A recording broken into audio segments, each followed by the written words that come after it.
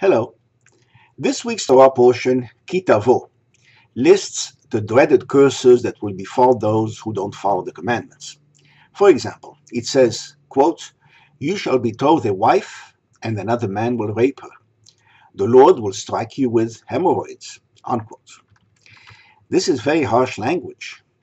Because of that, we're not supposed to read it aloud as stated. Politeness is valued so highly in the Jewish tradition that it even extends to changing the language of the Torah itself. Indeed, the Talmud instructs us to read the above two lines differently. Quote, Our rabbis taught in Baraita, all biblical verses written in an indelicate manner must be read by substituting refined phrasing. Examples. Instead of reading, You shall betroth a wife and another man will rape her, we read, You shall betroth a wife and another man will lie with her. Instead of reading, The Lord will strike you with hemorrhoids, we read, The Lord will strike you with abscesses. Unquote. Indeed, abscesses can occur anywhere in the body, but hemorrhoids only in the anus, so the first is more polite. Earlier in Deuteronomy, there is a hint of how much God values politeness. But before we study that, we need some backgrounds. In Genesis, we learn that Lot's two daughters, thought they and their father were the only survivors in the world after the destruction of Sodom and Gomorrah. So, to perpetuate the species, they get their father drunk and then sleep with him and give birth to one son each, Moab and Ben Ammi. Quote, now God tells Moses, Do not be at enmity with Moab and do not contend with them in battle.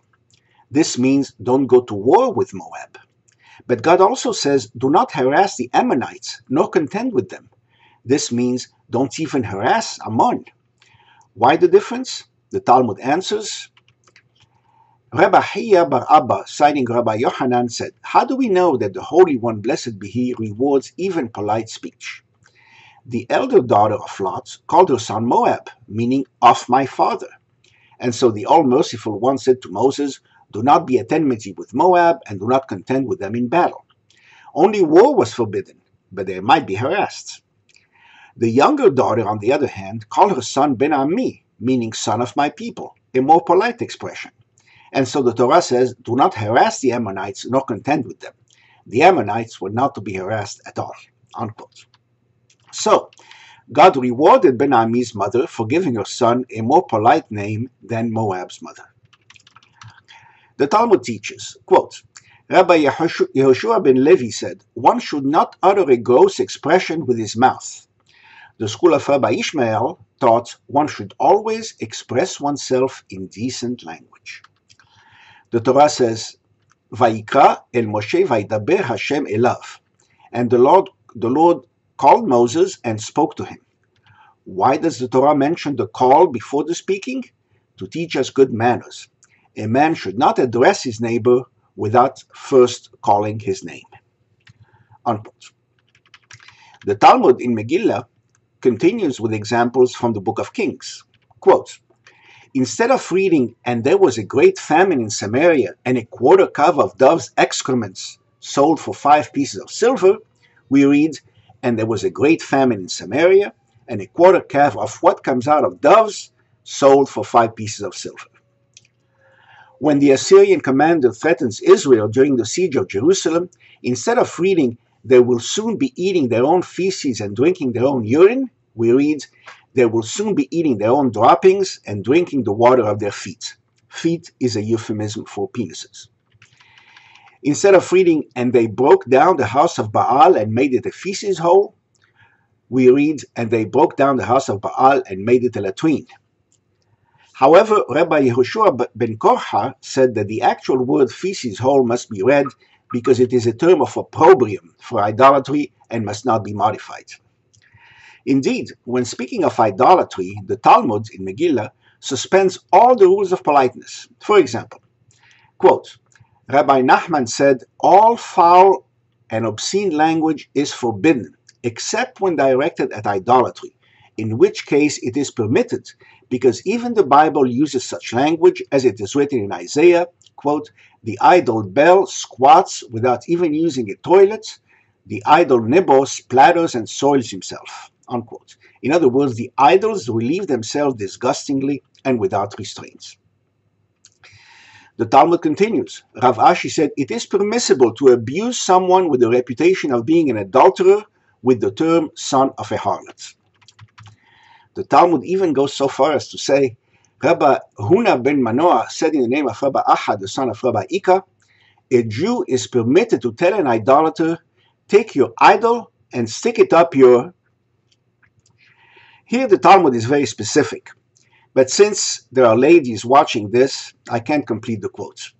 But ask me later privately. So, you can leave politeness aside if you see someone doing something beyond the pale. Euphemisms abound in the Bible. Instead of to have sex with, it says to lie with, to uncover the nakedness of, or to take. The Bible avo avoids all sex related expressions. Instead of saying the woman with whom he has sexual relations, it says the bread he eats. Instead of saying this is the way of an adulterous woman, she has sex and cleans herself and says I've done nothing wrong, it says this is the way of an adulterous woman, she eats and wipes her mouth and says I have done nothing wrong. Instead of penis, it says private parts, mevoshim in Hebrew, or uses feet as a euphemism, as in the book of Ruth. Ruth, quote, and when Boaz had eaten and drunk, and his heart was merry, he went to lie down at the end of the heap of grain, and Ruth came softly and uncovered his feet and laid herself down. Unquote. Instead of to defecate, it says to cover one's legs. Instead of to urinate, it says to cover one's feet. Instead of to menstruate, it says to be after the way of women. Many euphemisms are used to avoid saying to die. For example, quote, Enoch walked with God, then he was no more, for God took him. I will go down to Sheol. I will lie with my fathers. I am about to go the way of all the earth. They shall sleep an everlasting sleep and not wake. I shall go the way from where I shall not return. Unquote. Instead of cemetery, it says house of his worlds, meaning the world to come. Instead of cursing God, it says blessing gods. The Talmud also uses many euphemisms. Sexual intercourse is usage of the bed. Impotence is not conversant with the way of the world. Anal intercourse is turning the table. Oral intercourse is kissing that place. Toilet is house of water or house of the chair. Defecation is having need of his apertures. He died instead of he departed. His soul rested. He left the life for the living, or he was uprooted from the world. Placed under, under a ban or excommunicated is blessed. The phrase dever aher, meaning something else, is for many things not mentioned openly, such as leprosy, pig, sex, immorality, idolatry.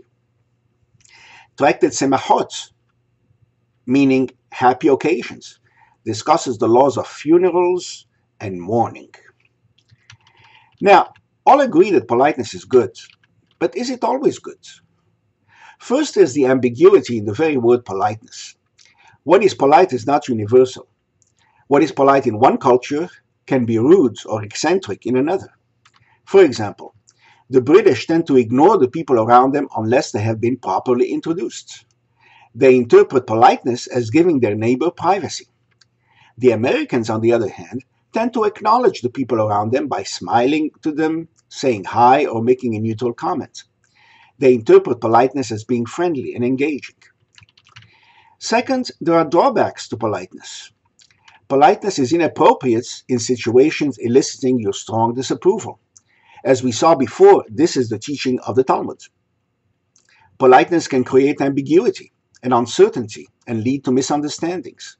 Did he mean exactly what he said, or is he just being polite? Politeness can falsely reassure people when your intentions are malevolent. Politeness may deter people from questioning or disagreeing.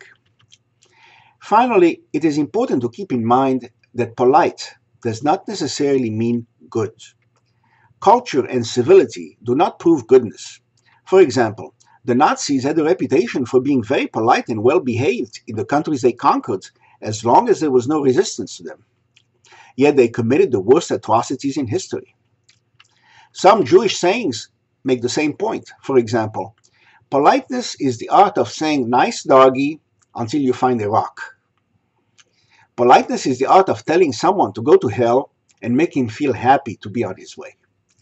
So, one must ask, when politeness is just a deceptive cover, is honesty better? Politeness definitely has limits. Shabbat Shalom.